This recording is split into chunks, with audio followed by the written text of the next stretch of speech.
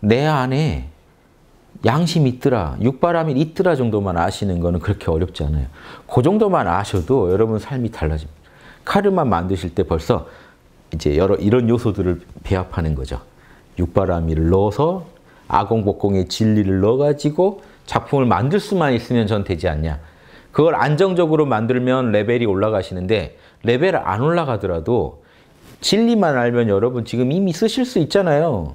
지금 요거 아셨죠?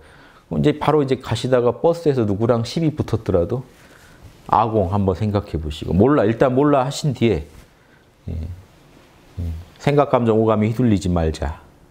모두 참나의 작용이다. 이왕이면 육바라밀로 대하자. 요것만 한번 지나가 주셔도 생각으로 나가는 말이 달라집니다. 그러면 지나고 나서 후회 덜할 작품이 나와요. 그럼 집에 가서 다시 생각해보면 그때 그렇게 처신했던 게 딱 좋았다. 거기서 더 갔으면 후회했겠다. 그때 기분에는 시원했을지 몰라도 지금 밤은 후, 보면 후회했겠다.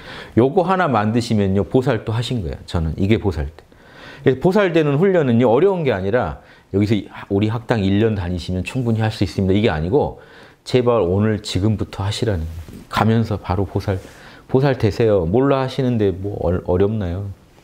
몰라만 좀 하시면 꼬맹이도 알아요. 눈 밝아지고 머리 시원해지고 마음 평온해진다는 거 다 알아요. 몰라 5분만 하시면 진지하게 우주를 모르겠다고 생각하시는데 어떻게 거기서 다른 생각이 올라옵니까? 그러고 나면요. 눈이 맑아지고 머릿속이 시원해지고 상쾌해져. 완벽하게 그렇게 안 되더라도 그 기운이 있습니다. 그 기운을 이용해서 남한테 지적할 것도 그 기운을 이용해서 해보고 그 기운을 이용해서 이렇게 뭔가 처신해 보시면 결이 달라집니다.